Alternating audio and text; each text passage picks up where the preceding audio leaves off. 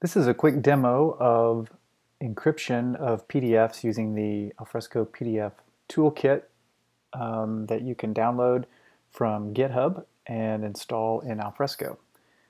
So I'm running Alfresco 5.1 Community Edition and I'm just going to grab a PDF and drop it into my repository here.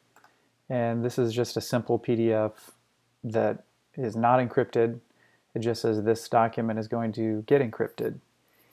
And what you can see is because I have the um, PDF toolkit installed, I have some options over here on the right, all sorts of things I can do to a PDF document, courtesy of the PDF toolkit. And in this demo, I am just going to encrypt the PDF document. This launches a dialog um, that asks for a lot of different options. You could obviously um, use your own dialog that just narrows this down to the options that you uh, care about. But this is the this is what you get out of the box. So I'll just name this uh, encrypted, and I'm going to copy it into the same folder that I'm already sitting in, um, but name it something different so that I have both the unencrypted and the encrypted version. You could do an encryption in place, and then you wouldn't have the uh, unencrypted version available. It would just be the encrypted version. Then I'll assign a password and um, there are two passwords you assign. One is called a user password, the other one is an owner password. Um, depending on which password you use to decrypt the PDF is going to dictate what you're allowed to do to that PDF. So if you use the user password, you're going to be able to read the PDF. If you use the owner password, you'll be able to uh, make any kind of changes. Obviously, you would want to use passwords here that are uh, difficult to guess, but in this demo, I'm just going to use these. I'm going to set the encryption level and then click OK. Now, if I look back in my folder, here's the encrypted PDF.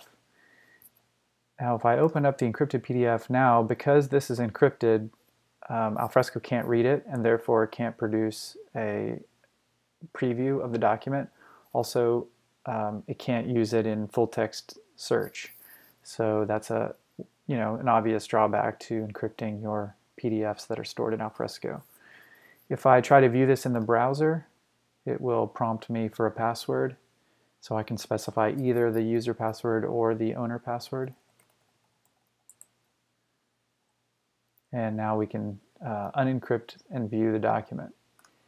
Similarly, if I download this document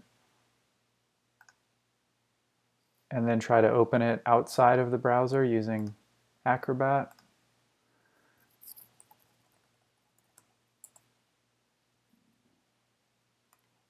then um, I'll get prompted for a password and then the document gets decrypted and shown to me in Adobe Acrobat.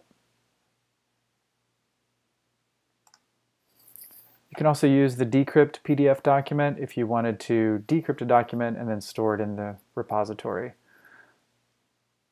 Also, you could write a rule um, so that when you add a PDF to a folder, that PDF automatically uh, gets encrypted.